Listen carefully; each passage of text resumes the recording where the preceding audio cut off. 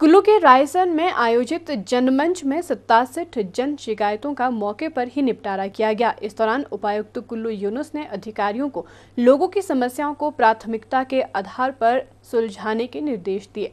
जनमंच के दौरान एक बूटा बेटी के नाम योजना के तहत 10 बेटियों को दस दस हज़ार रुपए की एफडी भी वितरित की गई। कुल्लू में आयोजित जनमंच कार्यक्रम में एक बूटा बेटी के नाम योजना की शुरुआत की गई और उपायुक्त कुल्लू यूनस और एसपी कुल्लू शालिनी अग्निहोत्री ने पेड़ लगाकर लोगों को पर्यावरण संरक्षण का संदेश दिया।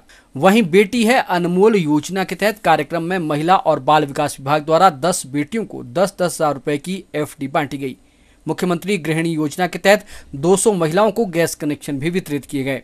कुल्लू के उपायुक्त यूनुस ने सभी विभागों के अधिकारियों को जनता की समस्याओं का समाधान प्राथमिकता के आधार पर करने के निर्देश दिए, जिससे सरकार द्वारा चलाए गए जनमंच कार्यक्रम से लोगों को समस्याओं का समाधान घर द्वार पर हो सके। कुल्लू के उपायुक्त यूनुस ने कहा कि जनमंच में सत्तासठ शिकायतों का निपटारा किया गया, जिनमें सड़क, शिक्षा, बिजली, पानी, स्वास्थ्य सहित कई अन्य तरह की शिकायतें थी। उन्होंने कहा कि दो दर्जन से अधिक शिकायतों को दस दिन के भीतर समाधान के निर्देश दिए गए हैं।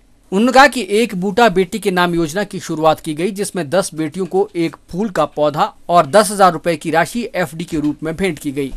जो ये जनमन सीन हमारे जो रायसन में हम, इसको आज हमने किया है उसमें काफ़ी लोग आए हैं और इसमें 67 सड़सठ ऐसी जो ग्रीवांस थी जिसका मौके पे हमने समाधान किया है। कुछ उनमें से ऐसी ग्रीवांस थी जो डिमांड की शेप में थी, उसका भी हम निदान कर रहे हैं जिसमें बजट की रिक्वायरमेंट थी।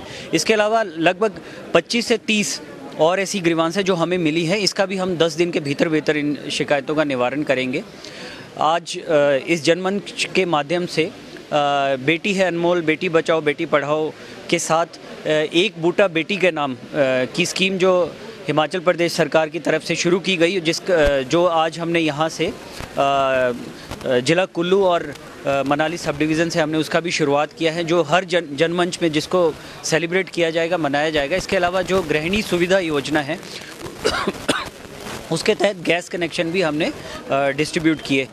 हम ये इंश्योर करेंगे सभी विभागों के साथ मिलकर तालमेल बैठा के कि जितनी ये ग्रीवांस हमारे पास आई है, इसका जल्द से जल्द निवारण हो पाए। इसके अलावा कुछ ऐसी ग्रीवांस हैं जो national highway authority of India की भी हैं एन की हैं। उसका हमने एक दिन, बुधवार, आने वाला बुधवार एसडीएम कुल्लू और एसडीएम मनाली और जो इसमें विभाग प्लस जो कंपनीज़ इन्वॉल्व हैं, उनके साथ रख दिया है।